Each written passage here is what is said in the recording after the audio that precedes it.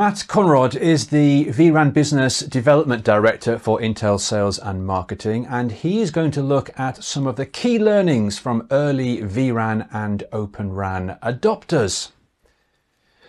Matt, Intel has been supporting CSP RAN deployments for years.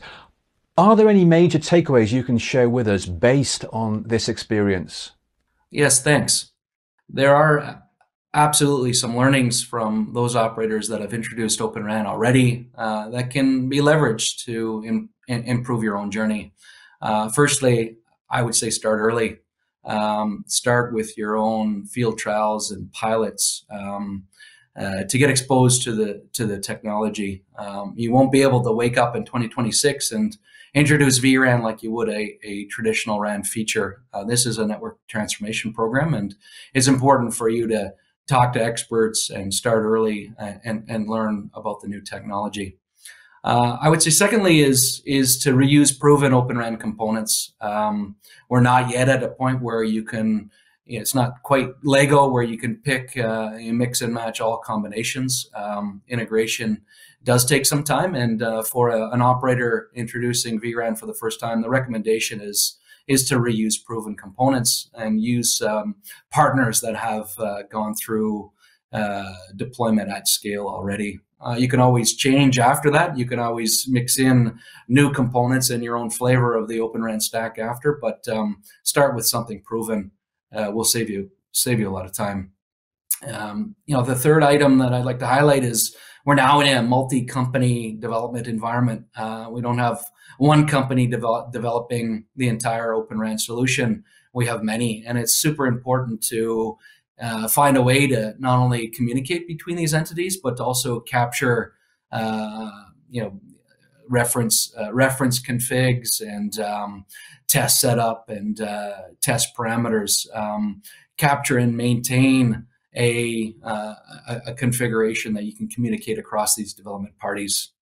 Um, again, going back to you know your own your own uh, um, you know your own company learning, also assess uh, critically assess your own capabilities for uh, and internal competencies for doing things like system integration and tool development.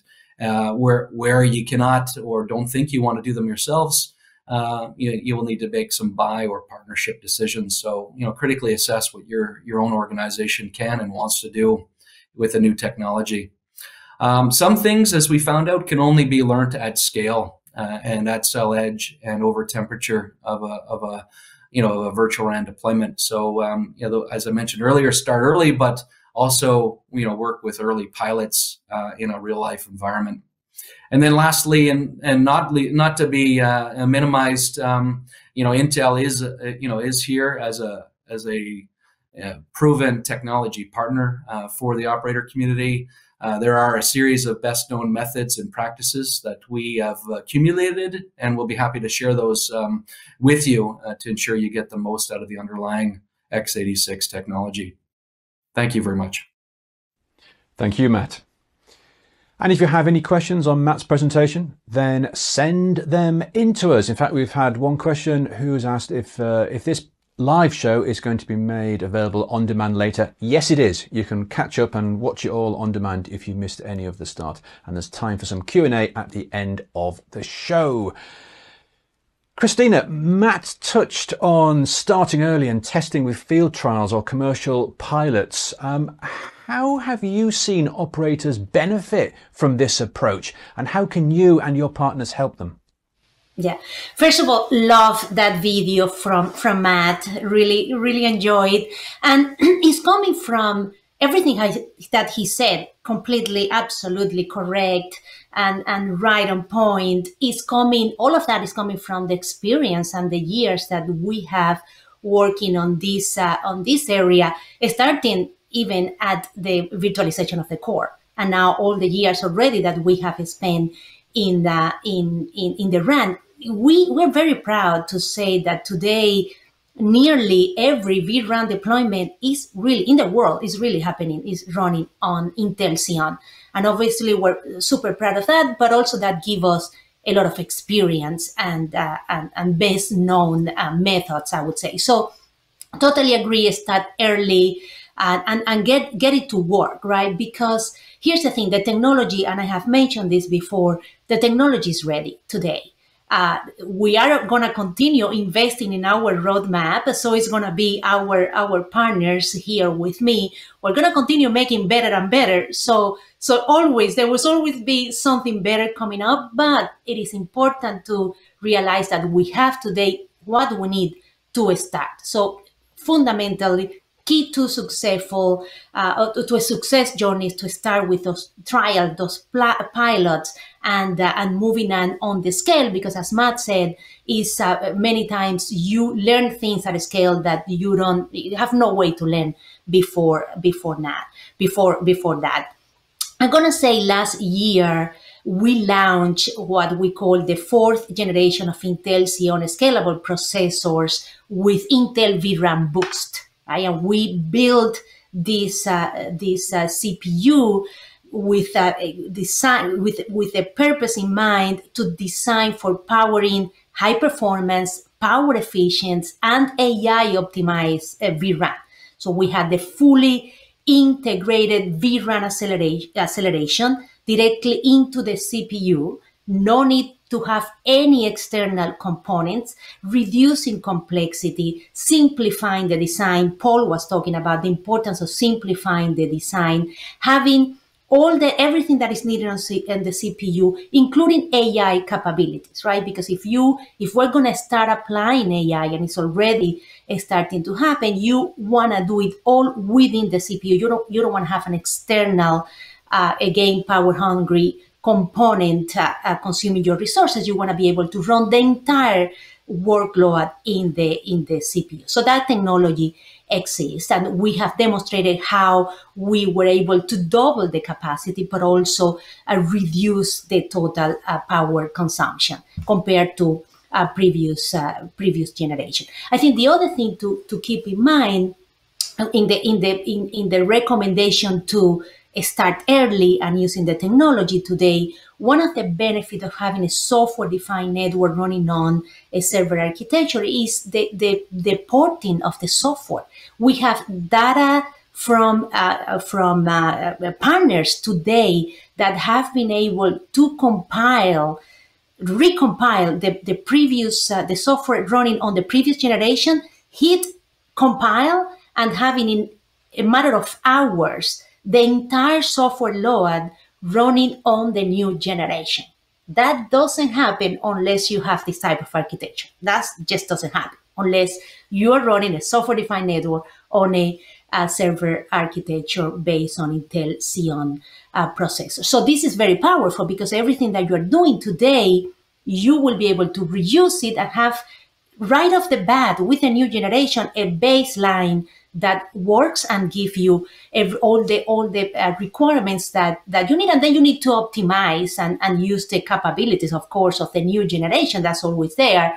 Uh, but you have a really really good uh, good start. So again um, I think by now we have proven that vRAN solutions can compete on power, power and performance KPIs with purpose-built solutions. Um, there's no trade-off here. We have what the, the industry need for today and for the future. And, uh, you know, ground, brownfield, greenfield, all across the, the world, just let's start. Let's start early. Let's start with what we have today is ready and, uh, and let's scale. Thank you very much, Cristina. Well, we've got a lot to still get through on this show, so we, we just need to um, move on a bit. We've got a couple more presentations to go, but I do want to talk to Paul and Manish. Manish, we heard from Matt there about internal competence. So how does Open RAN change the way that operators deploy and support networks, and what skill sets are important for success? And also, you know, how should they decide what to invest internally and what to outsource elsewhere? Yeah, I think that's a great question, uh, uh, uh, Guy. I mean, uh, to, to, to, to really think about it, uh, and I'll again just take a practical example of working very closely with Dish as they were rolling out their Open RAN networks. They were first and foremost, it's to, to Matt's point, selecting the right partners and the right components of the solution. Uh, that's super important because you want to bring in the set of partners who are committed to actually making this happen, who have experience, who, who've already done this, who also have the right technology capabilities, but most importantly, who are uh, who are really aligned, you know, strategically to make Open RAN happen. So that's very important. Then the question comes in is what parts of this you do internally in house as an operator versus what, what, what capabilities you expect from those partners. I can again just tell you in, our certain uh, in our experience, things like bringing the infrastructure block as pre-integrated capabilities uh, to the service providers that has obviously helped them in again not having to undertake all that integration work uh, between the server platforms and the CaaS layer and the automation layer all that pre-packaged pre so starts to accelerate their deployment timelines. Uh, also bringing in OTEL, our Open Telecom Ecosystem Lab, which is again number of operators who are right now in OTEL working with us and the partner ecosystem to do continuous integration, continuous validation. And, and then I'll again say, I mean, t- take a look at examples of Vodafone, of Dish Networks, where in certain cases they have gone ahead and built capabilities and transformed how they procure, how? Because you're you're now no longer procuring an appliance. You're procuring from an open ecosystem. So you need to transform how you convene and procure from an open ecosystem uh, building their own capabilities in terms of testing validation doing certain levels of integration. And then of course they have to build the capabilities to do uh, these integration on a continuous basis. Because as i keep saying this is about transforming the network to make it more cloud like achieving the economies of cloud innovating at the speed of the software. That's the bottom line, right? This is this is what the the, the, the, North Star is. So building those capabilities are important. I'm going to probably stop here in the interest of time. Thanks very much, Manish, because we have got a lot of viewer questions. Oh, they're all coming in now. Uh, they're all coming in at once. We've got uh, we've got we've got dozens. Um, Paul, um, we've got a full length interview that we conducted with Matt where he speaks to some performance gains with Intel processors. And I understand that Wind River has made some optimizations here. Can you tell us what these are and how they factor into this tipping point moment for Open RAN? Yes, and this also ties into the uh, real need that our customers have to drive total cost of ownership down. The work that we've done with Intel really shows how these technology innovations can directly contribute to business results. In the case of working with Intel and implementing a CaaS architecture, We've done some things that reduce the footprint requirement to a very small um, uh, physical presence at the edge of the network.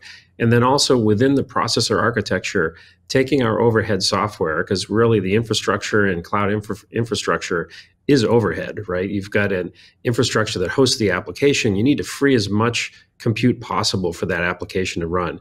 Uh, and in the work we've done with Intel on the Sapphire Rapids program, uh, we're pleased to announce that we actually run all the way down into a single processor core now for all of the overhead functionality.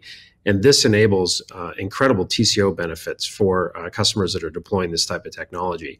Uh, and the second is that uh, we've, we uh, did some work with Analysys Mason, um, where we surveyed CSPs that are actually deploying Open RAN technology. And they found that the greatest obstacle that they had was integration costs and complexity. And our ability to solve that problem with innovations like the Dell Telecom infrastructure block enable us to remove those costs and significantly improve the uh, ease of adoption of these technologies, as we've talked about throughout the session here today. And that's another key uh, obstacle remover for the adoption of these technologies.